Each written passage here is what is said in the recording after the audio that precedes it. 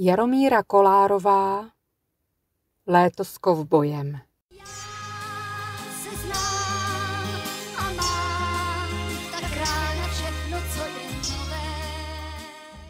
je léto. Plné léto. Léto k zbláznění. Slunce sežehlo rosu, vyblískalo zeleň, zapálilo kohoutky a smolničky, vybílilo paprsky kopretin a zlatě plane v mochnách a v pryskyřnících, v motýlcích štírovníků. Hustá medová vůně stojí nad květinami, vítr někde horkem usnul, tu a tam se zhoupne květ pod čmelákem, pod včelou. Obloha je čistá a nekonečná. Jen stříbrný bod letadla odvíjí v modři bílé vlákno, které se pozvolna rozpadá v kadeřavou vlnu beránků. List kontrihelu chrání v žáru rosnou kapku. Zazářila duhou a vylila se. Zelený koník uskočil, vzlétl modrásek. Na louku vyšla dívka. Slunce se jí odrazilo do brýlí, zazářilo v krátkých vlasech, zalilo ji teplem. Bylo jí to příjemné, šla dlouho stínem. Na plochém kameni se vyhříval slepíš. Při zvuku kroků pomalu sklouzl a ztratil se v trávě. Dívka usedla na jeho místo a znehybněla. Zvolna se nabíjela teplem, vzdávala se barvám a vůním. Nemyslela na nic. Usmívala se. Zprvu se schoulila, ale teď se rozvírala jako květina. Nevědomky se sesunula z kamene a přimkla se zády k trávě. Rozpřáhla paže a přimouřenýma očima sleduje bílou stopu v nebeském blankitu. Dole u země zní bzukot a nahoře se překřikují ptáci. Zvuky se prolínají a navozují pocit ticha konejšivého, živého ticha. Motýla oklamaly červené plavky. Přistál na dívčím mňadru a přizdobil je pavým okem. Je bez tíže. Dívka pozoruje pohyb křídel, motýl zazáří a zhasne, zhasne, zazáří. V té chvíli ji zalehlo slunce, prohnula se pod tíhou žhavého plástu. Teplo se zhmotnilo v neznámou, nikdy nepoznanou bytost. Polekala se vlastní představy, vyskočila. Pestrá křídla se jí myhla kolem spánku. Dívka setřela z tváře horkou vlnu a rozběhla se lukami. Dole jí zastavilo houští, hořce zavonělo vrbový, nohy vklouzly pod chladivé listy devětsilu, v zeleném příšeří se zatřpitila voda. Hrnula se přes oblásky do tůně, kde se skoro zastavila, vnikala pod kořeny, skrývala se mezi černým kořáním. Světlo procházelo listím a po hladině se chvěla sluneční prasátka. V písku na dně se stříbřila slída, kmitl se duhový pstruh. Dívka schodila z třevíčky, položila na ně brýle a květovaný šátek, pověsila na keř plavky a vklouzla do vody. Ponořila se celá, jako by chtěla spáchnout znepokojivý pocit, který vyvolalo slunce. Ale voda ji spálila. Dívka se vynořila nad hladinu a nadechla se. Potopila se a zajíkla se chladem. Vyskočila, plácala rukama, kopala nohama, stříkala kolem sebe, smála se.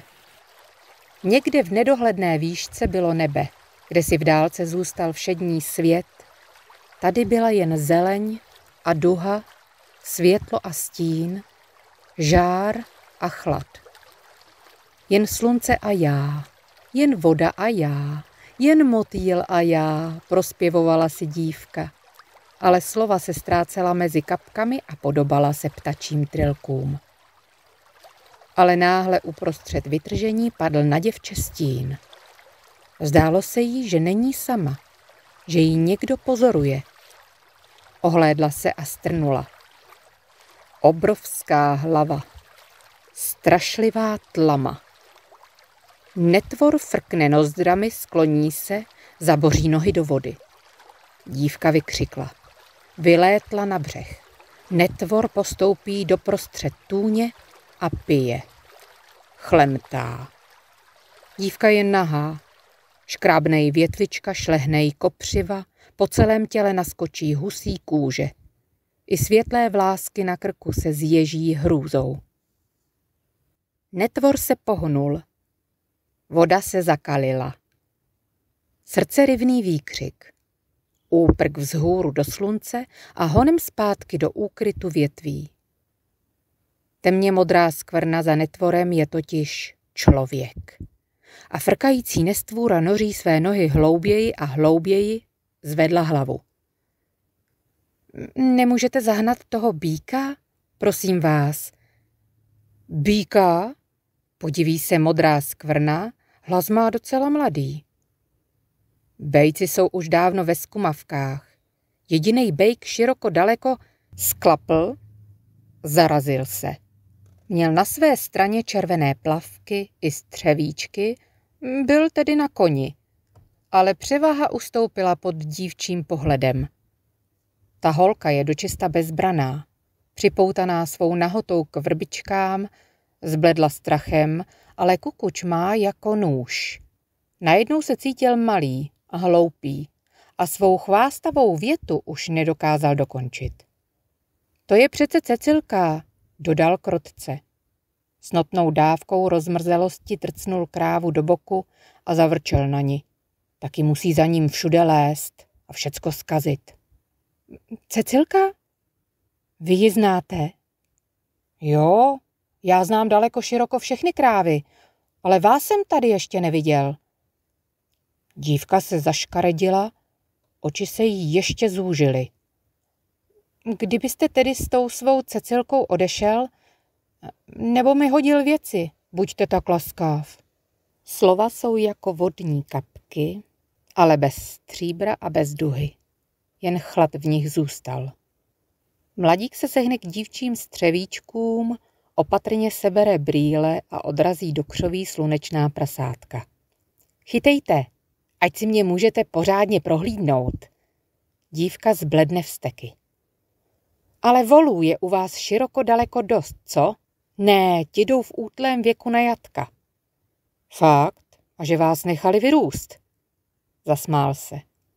Navlékl na dlouhý prut její opalovačky a napřáhl jej přes vodu.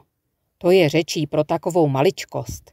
Chtěl ucuknout a trochu ji potrápit, ale dívka vstáhne ruku a chňapne po plavkách. V podpažní jamce zasvítí světlé chmíří. Mladík stáhne prázdný prut k sobě, okamžik stojí bez hnutí. Kdyby podal přes vodu červené pantoflíčky, dívka by navždy zmizela. Nezmizela.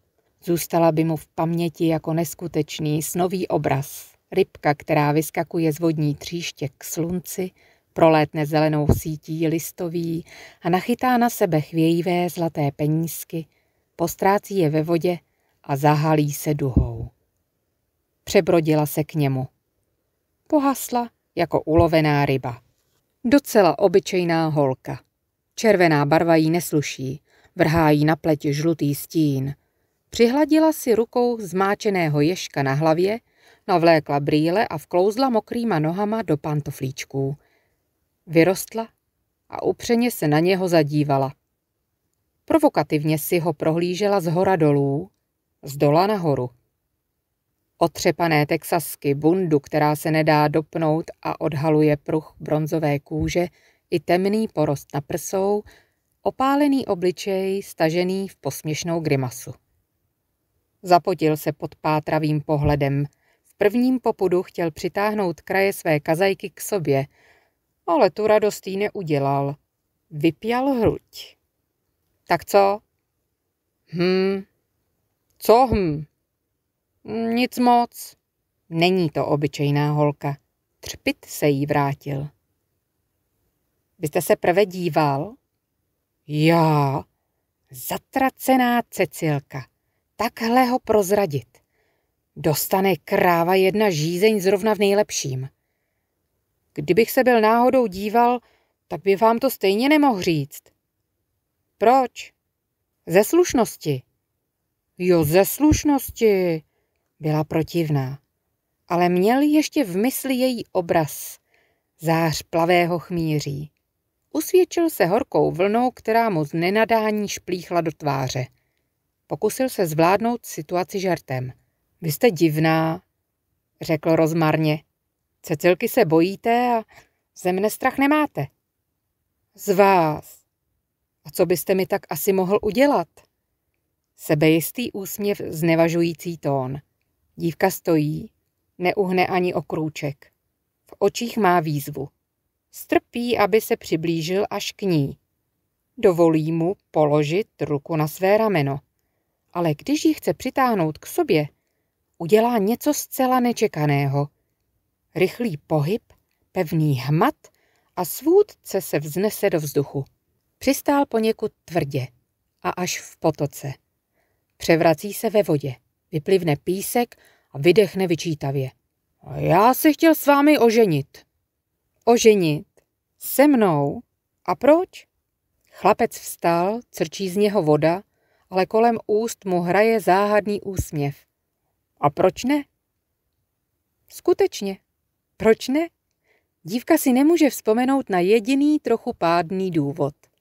Vnímá jen slunce a svěžest vody a listí a trávy. V dálce táhle zabučela kráva a do mladíka věl život. Chopil se prutu a běží vzhůru do kopce. Mizí za úzkým pruhem stromů, ale jeho hlas se nese do veliké dálky. Zuzo, Terezo, Helgo, nány jedny zatracený, krávy pitomí, já vám to spočítám. Dívka se za ním dívá, sejme brýle, dýchne na ně, očistí je květovaným šátkem a když si je opět nasadí, vidí jen strakaté krávy jako vyloupnuté kaštánky. Uváže si šátek a pustí se po lukách, proniká ji radostná síla, tráva a květiny se lichotně dotýkají nahých nohou, mouchy vesele bzučí kolem hlavy a docela nahoře na nebi se zavěsila skřivánčí písnička.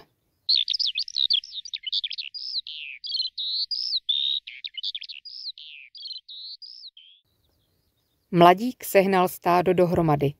Opírá se o krk kaštanové cecilky, koupe se v dobré a živné vůni stáda a zádumčivě pozoruje, jak se dívka vynořuje a mizí ve vlnách krajiny, plane v zeleni ohnivým, cizokrajným květem a ztratí se v modrém lese.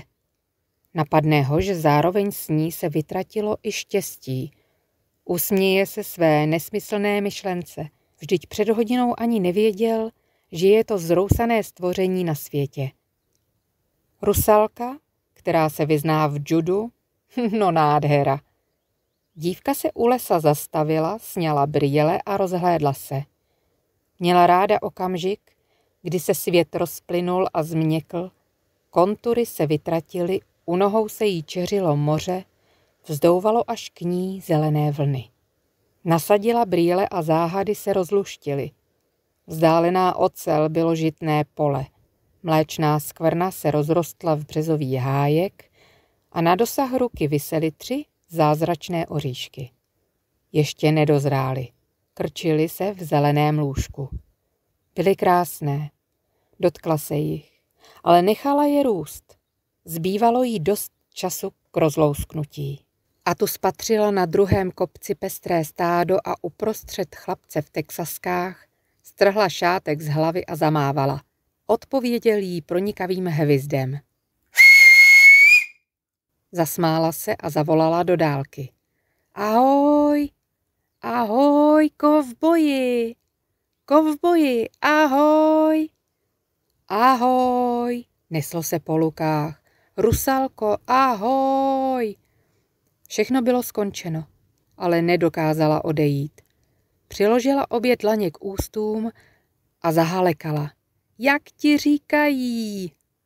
Honza, Honza Macháček.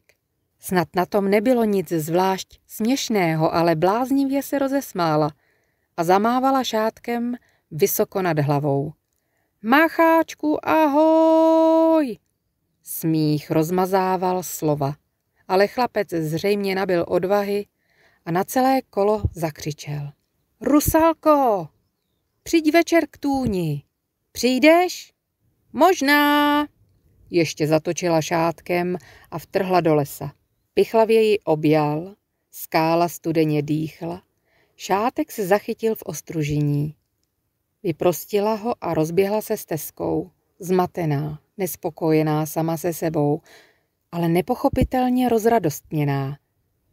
Teprve na pěšině zvolnila chůzi, na rtech jí utkvěl vzdálený úsměv.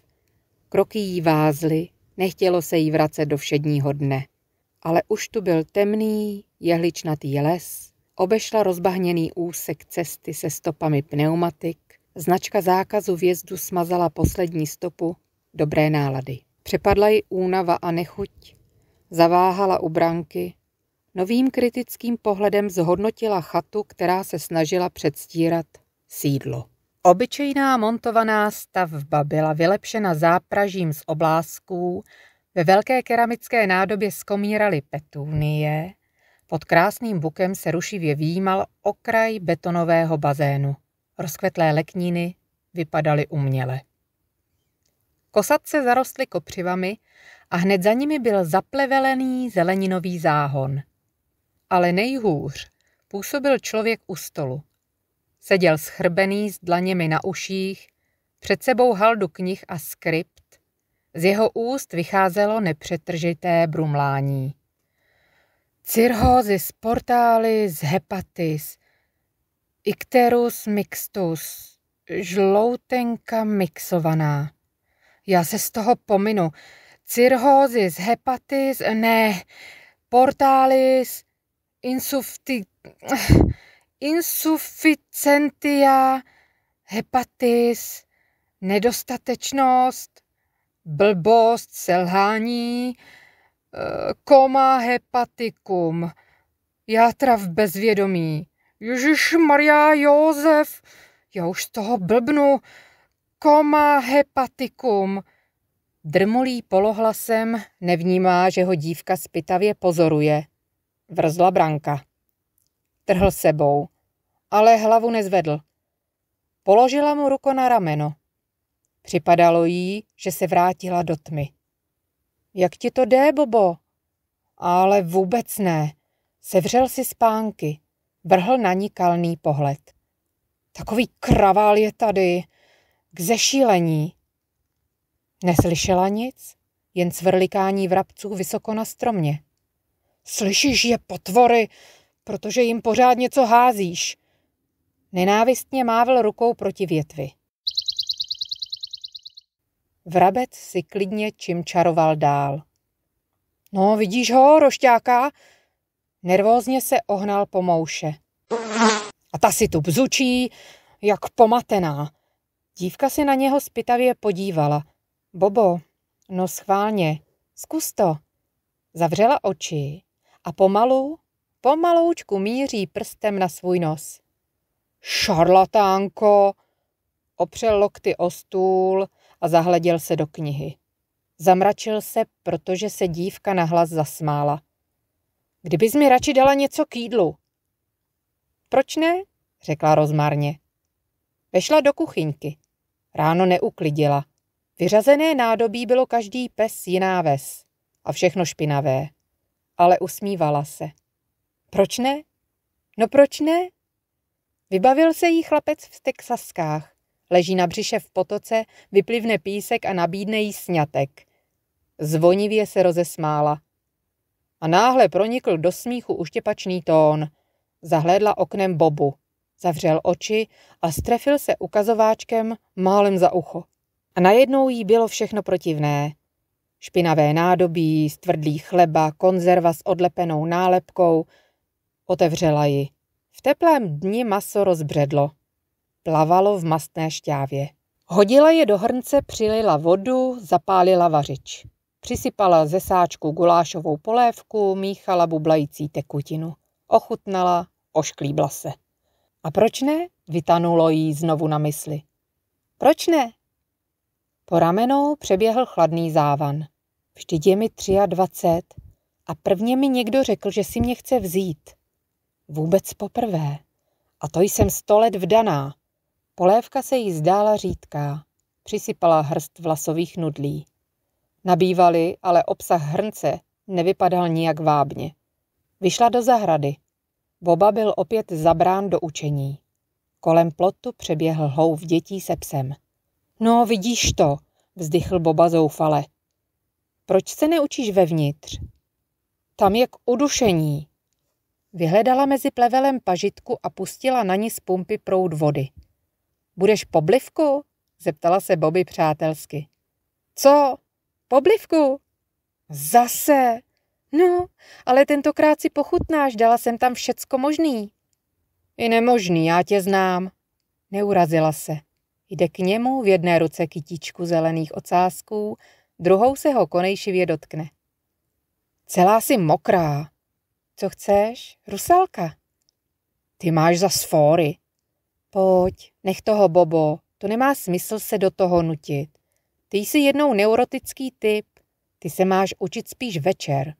A zrovna léto je pro tebe nejhorší čas. Ty se máš učit v zimě. Neotravuj, Dorka. Ale jdi, ty ne. Otřela se líčkem o jeho vlasy. Navyklý dotyk je nepatrně nepříjemný. Bobo, zeptala se laskavě, a co ti dělá takové potíže? Recepce nebo retence? Jdi do háje a vynech mě s tou svou pitomou pavědou. Rozlícený vypadal komicky a trochu dojemně. Podíst. Šla napřed. Neohlédla se. Chvíli trucoval, pokoušel se číst, ale pak založil stránku, umyl se u pumpy a coural do chaty. Dorka prostřela v hezkém pokojíku, byl tu stín a průvan, pestré záclonky vlály. Všechno tu bylo potaženo veselým kretonem, na podložkách zlíka stály plné talíře. Tekutina neurčité barvy byla štědře posypána zelení. Vem si chleba, můžeš si ho tam nalámat. Nakrčil nos. A to už je jako celý oběd, jo. Uvidíš, jak je to sytý. Snědl dvě lžíce, uhryzl kamenný chléb. Nevábná krmě v něm zřejmě vyvolala zvláštní asociaci. Vyzkoušíš mě ze žloutenky? Překvapeně vzhlédla. Ale jo. Mně se ti všechno plete, ale úplně všechno. Já jsem snad doopravdy blbej. Naopak. To bys měl právě paměť. Lidé s nízkým IQ mývají paměť přímo fenomenální. Snědl třetí lžíci. Kdybys mě aspoň přestala štvát. Zamíchal polévkou, vylovil třásničku masa. A kdybys měla při vaření aspoň zamák fantazie, maminka by z takového materiálu vytvořila báseň. No jo, maminka, náhodou tam máš všecko, co potřebuješ. Proteinů celou konzervu. Uhlohydráty si přikousneš, vitamíny se tam přímo hemžej. Jen žrát se to nedá. Odstrčil talíř, málem jej převrhl. A hned se zastyděl za svůj výbuch. Pokrotle přitáhl jídlo k sobě. Dorka neřekla ani slovo. Jen na něho upřeně koukala. Proč ne? Blesklo jí hlavou. Skutečně. Proč ne? Víš, co je zvláštní, Bobo? Ty jsi mi vlastně ještě nikdy neřekl, že si mě chceš vzít. Jsi normální? Mě vyrazej od státnice a já mám čas myslet na blbosti. Na blbosti, jo? Dorka vzplanula. Boba se polekal. Dosud nikdy ji tak neviděl. Připadalo mu, že s ním u stolu sedí někdo docela jiný. No tak, nejanči Dorka, řekl smířlivě a vzal ji za ruku. Usmál se.